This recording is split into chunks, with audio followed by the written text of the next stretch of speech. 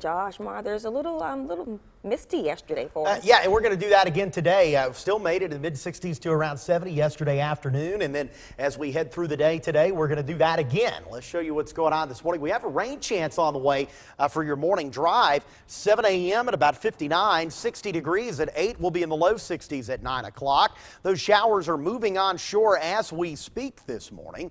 I hope you're having a good start to your day. Let's zoom on in and show you the highest concentration. These are moving in from the ocean into the Charleston metro right now. We've got some light rain west of the Ashley. This will slide up into the plantation areas of uh, Charleston County and lower Dorchester County. Another little batch of showers headed up toward Walterboro as well. So you're going to see this off and on throughout the morning.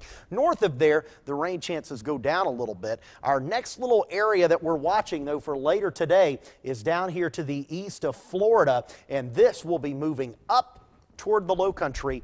I would say late this afternoon into this evening, and that will bring in a better chance for some rain for all of us. We're looking at upper 50s and low 60s to start the day this morning. It's a mild one mostly cloudy. There will be some peeks of sun today, but again, it will be mostly cloudy, very similar to yesterday and the day before. Low 60s at 9 o'clock, upper 60s at noon, low 70s at 3, and mid 60s at 6. The best chance for rain coming in late this afternoon into this evening. A high today between 70 to 73. We think inland will be between 65 and 67 out toward the beaches with an east wind at 5 to 15 miles per hour.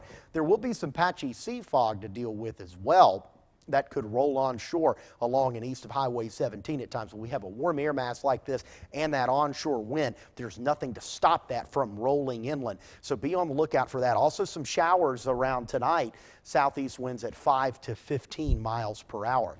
Let's track these showers with our high resolution forecast model. 12 o'clock, just an isolated sprinkle or two. But by 4 or 5, you can see that rain chance going up, and then that carries us into the evening hours. Overnight, this will taper to showers. Tomorrow morning, we'll see a few isolated showers to begin the day, and then a better chance for showers and even some thunderstorms coming in late tomorrow afternoon into tomorrow night. Then we clear out for Saturday, and Saturday is going to be a much cooler day with highs only in the low to mid 50s. Then Sunday and Monday, we're in the upper 40s with lows near freezing.